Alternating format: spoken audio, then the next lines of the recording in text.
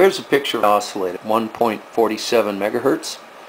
I wanted to show that first. This is the one from DigiKey, and I'll show you where I got, how I got the information for it. I'm going to look at frequency counter and look at the frequency, how well it is. And so there it is. You can see it's, what, one cycle off, one digit off anyway, but it's, so it looks really good at 1.47 megahertz. It's very stable. So again, looking back at the circuit here, uh, again looking at how I put it together. See, I had one of these terminal strips there you can see the uh, the MOSFET driver IC there.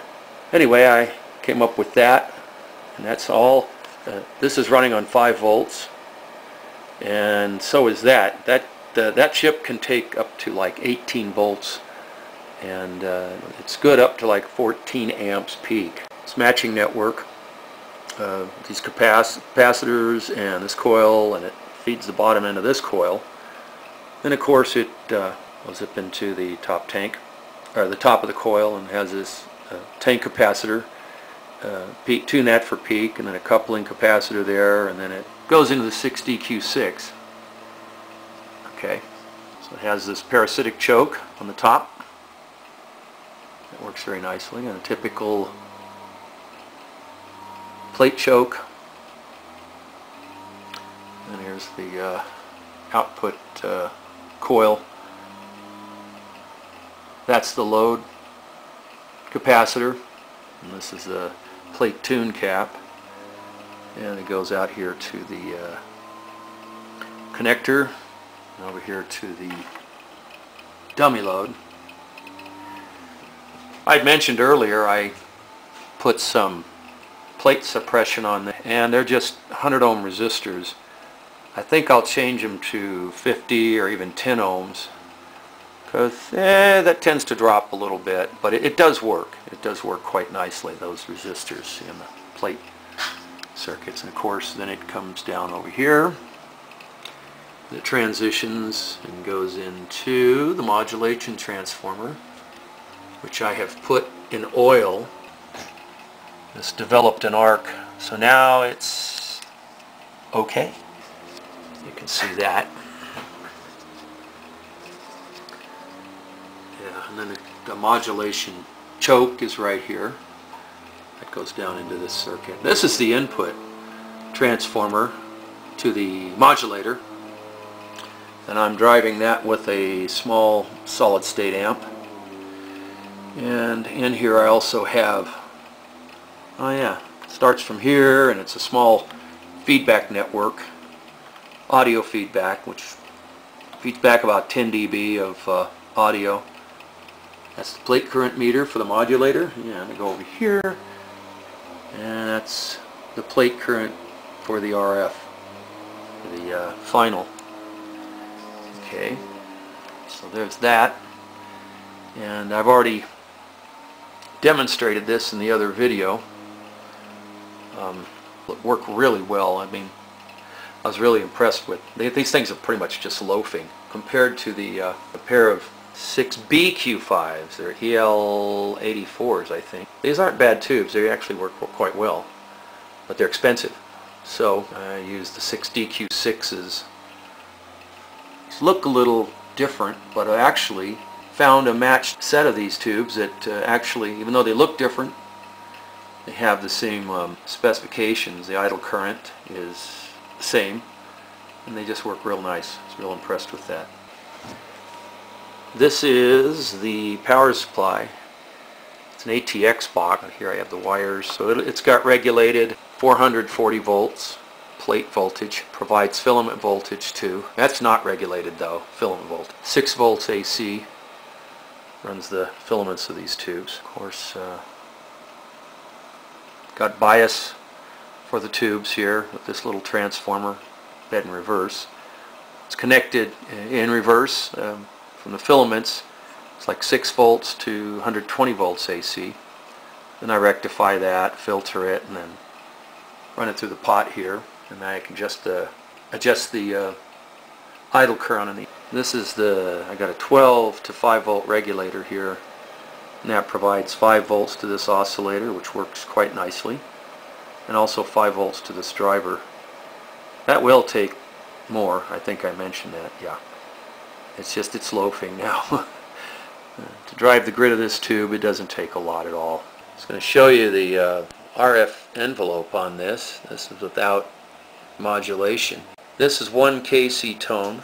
You can see these troughs look beautiful and the peaks, I got a little bit on the I've enlarged it on the, enlarged it on the scope here so you can see just how they look. The the peaks and the troughs quite nice. Uh -huh.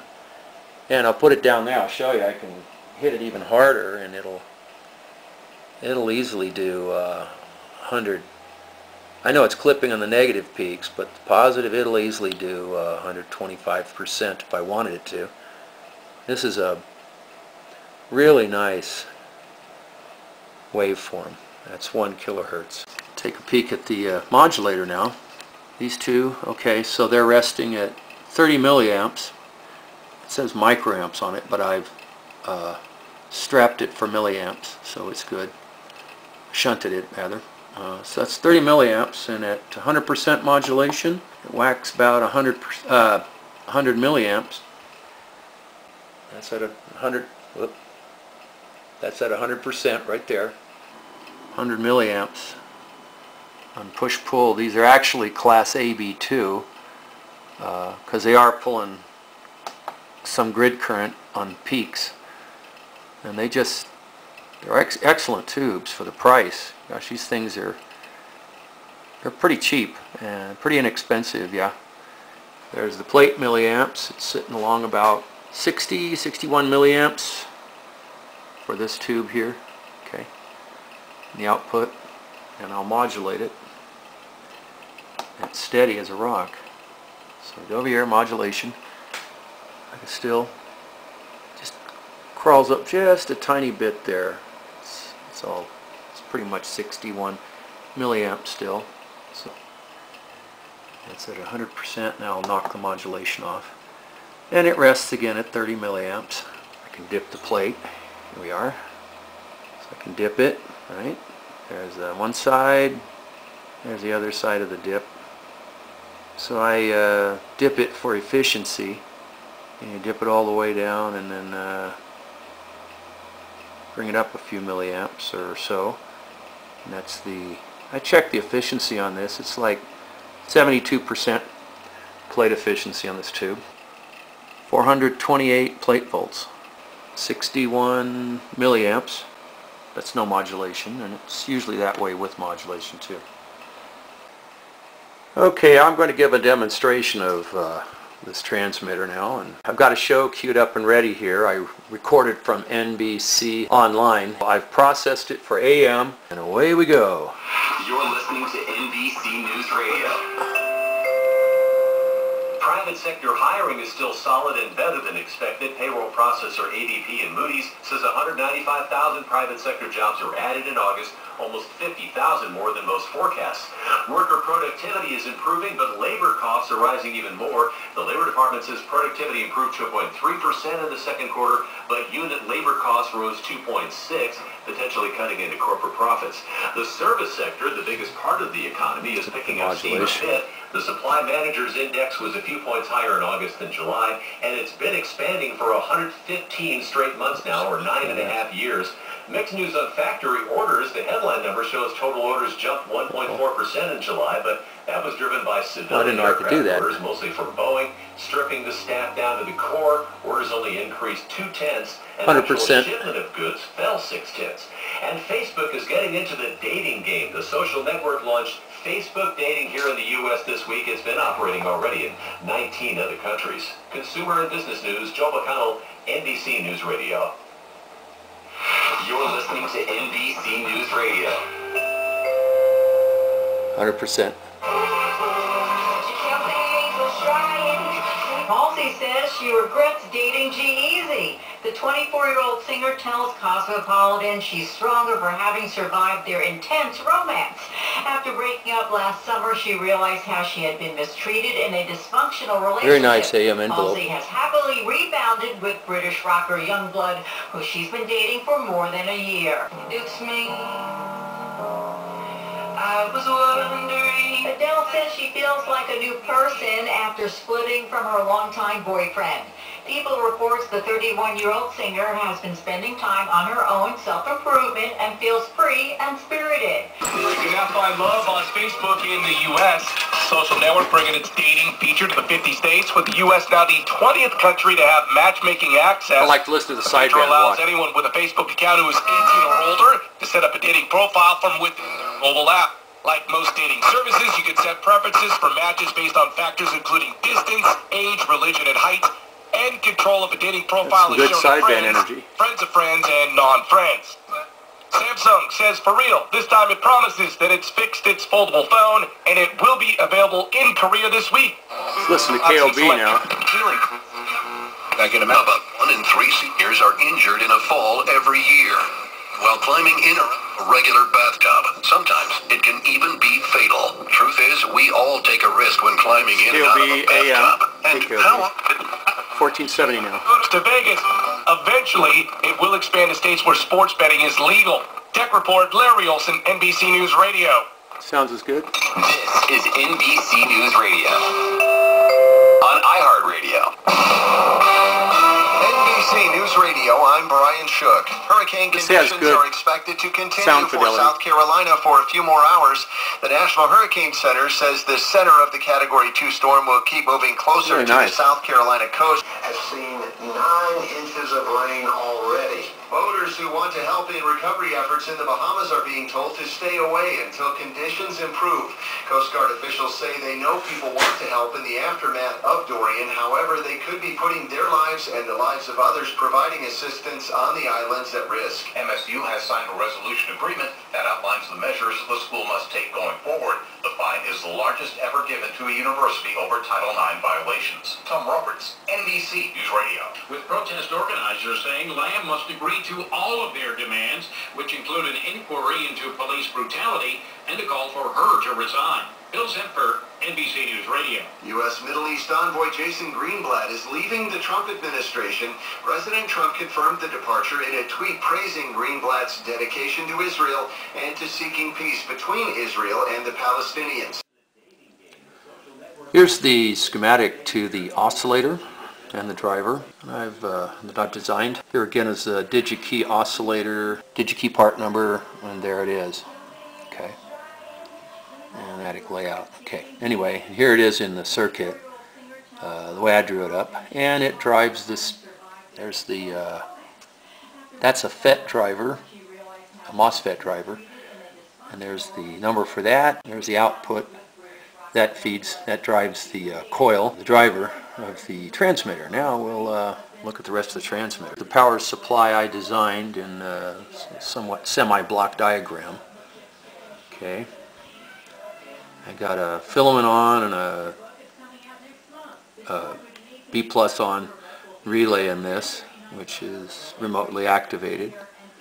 And bring it out to pins like this. Okay. Uh, let's see, here's the HV regulator circuit.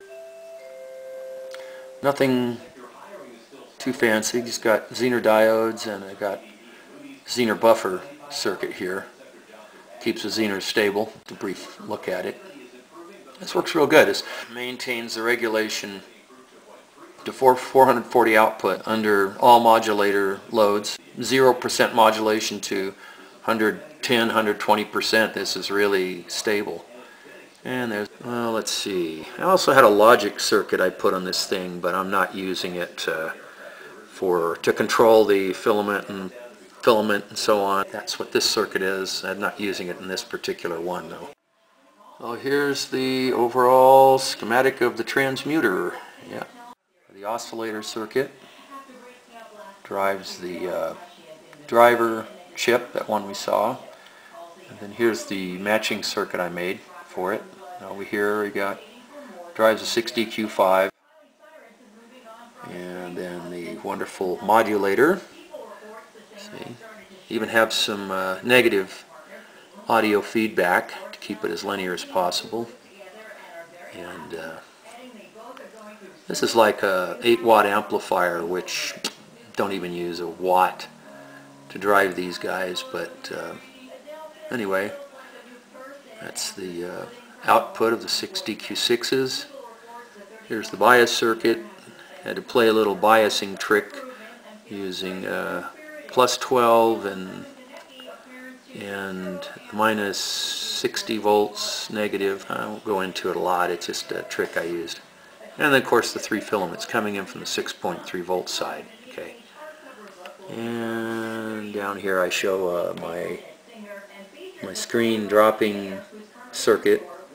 It's actually off of the regulated B plus, so everything's well regulated in this. So there it is. That's actually the uh, whole transmitter schematic and all right there.